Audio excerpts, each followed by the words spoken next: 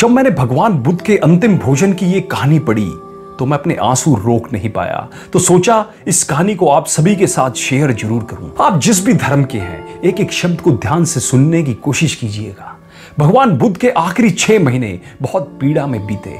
पीड़ा में उनकी तरफ़ से जिन्होंने देखा, भगवान बुद्ध की तरफ़ से कोई पीड़ा नहीं। भगवान बुद्ध एक गाँव में ठहरे थे और उस गाँव के एक क्षुद्र व्यक्ति ने, एक गरीब आदमी ने भगवान बुद्ध को निमंत्रण दिया कि प्रभु मेरे घर भोजन करो। भगवान बुद्ध ने उसका निमंत्रण स्वीकार कर लिया। सुबह सुबह जल्दी आ गया था। वह जानता था उसका नंबर बाद में तो नहीं आ पाएगा। इससे पहले और लोग निमंत्रण ना दे दे। इसलिए वह सुबह सुबह उठ भगवान की गंध कुटी के सामने आ बैठा। उसकी बड़ी तमन्ना थी कि जीवन में एक बार भगवान बुद्ध उसके यहाँ भी भोजन ग्रहण करे। वह निमंत्रण दे ही रहा था कि इतनी देर में गाँव के धनपति ने आकर भगवान को कहा कि आज का भोजन निमंत्रण मेरे ग्रहण करें। भगवान बुद्ध ने कहा, धनपति, आज का तो निमंत्रण आ चुका है। इस प्रेमी ने आज अपने घर बुलाया है। उस अमीर ने उस आदमी की तरफ़ देखा और कहा, इसका निमंत्रण? शायद इसके पास तो अपने खाने के लिए भी कुछ नहीं होगा। इसको तो कई बार खुद भी भोजन के लिए तरसना पड़ता है। तब उसने उसकी तरफ़ देखकर कहा, उससे पूछा, क्या मैं कुछ गलत कह रहा हूँ? उस व्यक्ति ने गर्दन हिलाकर हामी भर दी।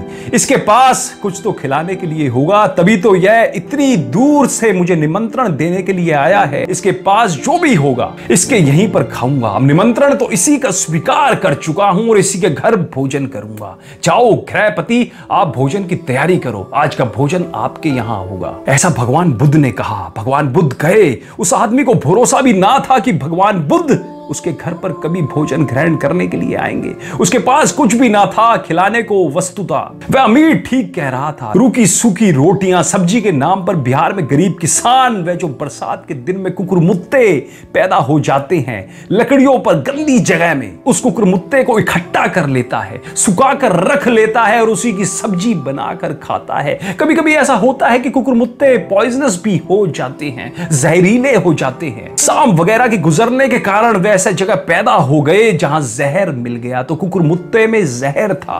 भगवान बुद्ध के लिए उसने कुकुरमुत्ते की सब्ज़ी बनाई। वे एकदम कड़वे जहर थे। मुँह में रखना मुश्किल था, लेकिन उसके पास एक ही सब्ज़ी थी। तो भगवान बुद्ध ने यह सोचकर कि अगर मैं कहूँ कि यह सब्ज़ी कड़वी है तो यह कठिनाई में पड़ेगा। उसके पास कोई दूसरी सब्ज़ी नहीं है। वह उस जहरीली सब्ज़ी को खा गए। उसको मुँह में भी रखना कठिन था। पूरी सब्ज़ी को मांग कर कि बहुत सुस्वाद बनी है कह कहकर खा गए, ताकि इसके बाद बाद में भी पता ना चले कि यह जहरीली सब्ज़ी थी। खूब आनंद लेकर खाते रहे। जैसे ही भगवान बुद्ध वहाँ से निकले उस आदमी ने जब सब्ज़ी को चखा तो वह हैरान हो गया। ये क्या? यह तो कड़वी जहर सब्ज़ी है। वह भागा हुआ आया और उसने कहा कि आप क्या करते रहे?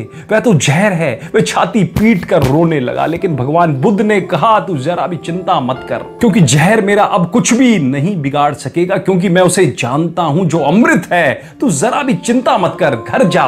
लेकिन फिर भी उस आदमी की चिंता तो हम समझ सकते हैं कि उससे अनजाने में क्या हो गया। उसे अंदरूनी तौर पर कितनी गिलानी, पीड़ा पश्चाताप हो रहा होगा कि उसने ये क्या कर दिया। पर उस आदमी को भगवान बुद्ध ने कहा, तू धन्य भागी है, तुझे पता नहीं, तू खुश हो, तू सौभाग्यशाली है, क्योंकि कभी हज़ारों वर्षों में बुद्ध जैसा व्यक्ति पैदा होता है। दो ही व्यक्तियों को उसका सौभाग्य मिलता है। पहला भोजन कराने का अवसर उसकी माँ को मिलता है और अंतिम भोजन कराने का अवसर तुझे मिला है, तू सौभाग्यशाली है, तू आनंदित हो पगले। ऐसा फिर सैकड़ों हज़ारों वर्षों में कभी कोई बुद्ध पैदा होगा और उसे ऐसा अवसर फिर किसी को मिलेगा। उस आदमी को किसी तरह समझा बुझा कर लौटा दिया। बुद्ध के शिष्यों ने जीवन वैद्य को बुलाकर जब पता कराया कि भगवान की तबीयत क्यों खराब रहती है, तब उसने बताया कि इन्हें जहर दिया गया है। तब भगवान के अन्य भिक्षुओं के साथ आनंद रोने लगा कि वह आदमी तो हत्यारा है, वह आदमी पापी है, उसने आपको जहर दिया है। भगवान ने कहा, ऐसी बात भूल कर भी मत कहना, अन्यथा उस आदमी को कोई भी जीवित नहीं रहने देगा। आनंद, तुम गाँव में लोगों को भेज कर ये ढिंडोरा पिटवा दो, ये खबर करवा दो कि दो आदमी परम सौभाग्यशाली होते हैं, जिसने पहला भोजन बुद्ध को कराया और जिसने अंतिम भोजन बुद्ध को कराया। मरने के वक्त तक सब लोग यही कहते रहे